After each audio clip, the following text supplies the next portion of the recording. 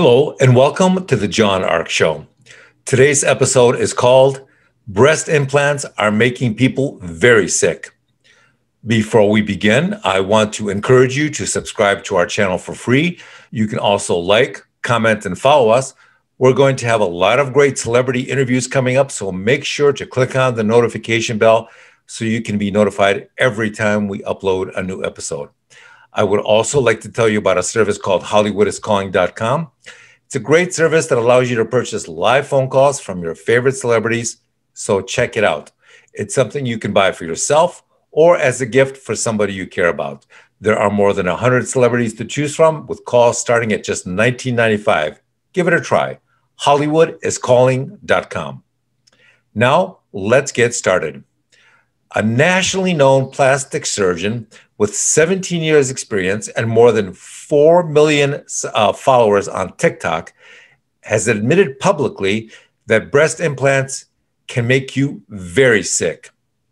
Now, for years, he was told that that's not true by the profession, the medical profession, but now he believes that people can definitely get sick.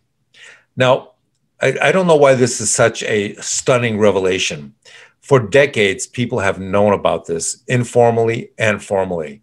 You know, I don't know how many people I've spoken to who have gotten the implants put in, and then down the road, two years, five years, seven years, they get them surgically removed. Sometimes it's because of a of an infection. Sometimes it's because of pain and and and or or, or some other discomfort. There's always a reason but oftentimes they get them removed.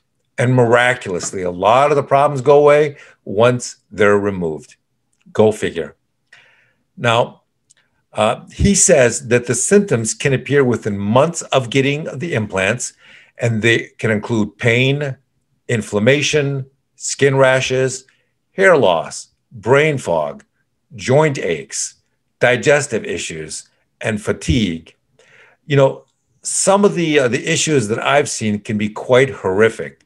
Sometimes the infections can be so uh, so massive in scope that it affects the rest of the torso and other parts of the body.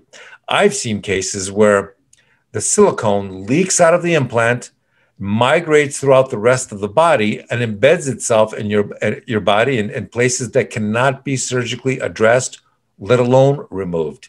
That's a massive, massive problem. What happens then? You have uh, lifelong inflammation, lifelong illnesses, lifelong pain. It, it, turns into a nightmare for some people. Now, uh, he claims, this doctor claims that the industry does not agree with him. And he claims the industry says uh, that there are no studies to confirm any of this. Um, so why is this such a major revelation now? Well, lots of patients are getting their implants surgically removed. And uh, the breast augmentation industry is enormous in the United States, and it is even larger offshore. Uh, why is it so big offshore? Well, there are two reasons. One is cultural. Places like Brazil uh, have a cultural predisposition to getting these kinds of augmentations, not just breasts, but the rest of the body as well. Um, the other issue in uh, countries offshore is that they will often do procedures that US doctors consider to be too dangerous. Years ago, there used to be a breast augmentation procedure called the string procedure. This is where they would insert this string like material into the breasts uh, for women, and they would increase or augment the size of their breasts to gigantic proportions. Um, now, after a while, uh, uh, the, the doctors stopped performing the procedure in the United States for, for health reasons, but offshore, you could still get this done. A lot of porn stars had it done in the 80s and 90s. And if you see photos or video of them, it, it looks like a freak show. Uh, it, it looks it looks like um, I don't I don't even want to describe what it looks like because it looks beyond bizarre. Uh, but uh, but they would go offshore and they would get these procedures done, you know, and and they would do it for financial reasons. You know, a porn star who would go on the road and and and make public appearances.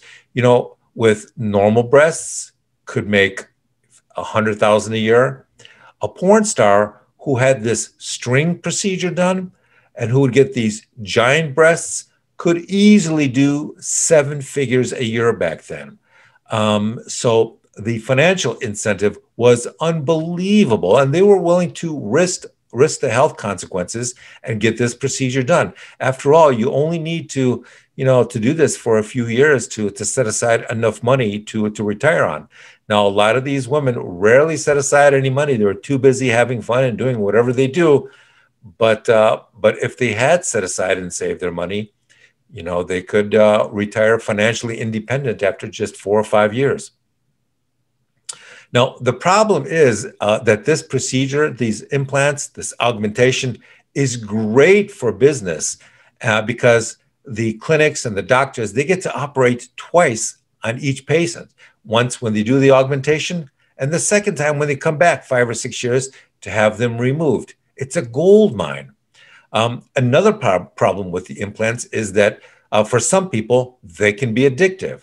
There are numerous reality shows on cable now which uh, which feature people who've had augmentation or want to get augmentation done, and they regularly fe- feature patients who are coming back to the doctor who who want to get larger implants because the last large set of implants uh, they got uh, they no longer feel are substantial enough.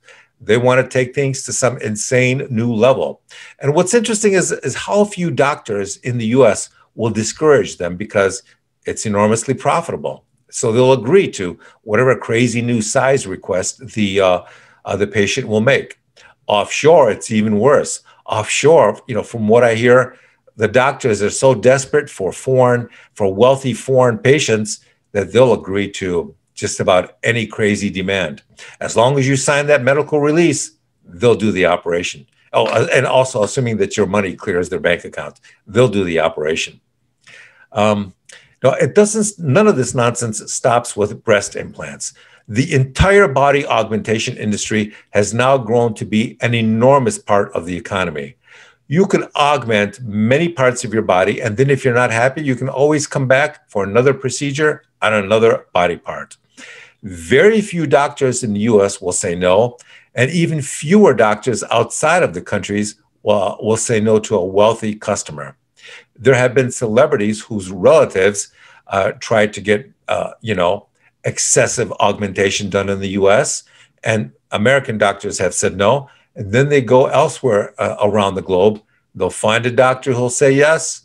And in one case, a celebrity's mother passed away on the operating table from the shock of having had so much work done in one procedure. So, uh, you know, I, I, just recommend that you get multiple opinions. You know, get the advice of experts that you respect. Uh, look into it because the consequences can be very, very draconian if the procedure goes badly. Uh, it can it can destroy your life, and has in many cases.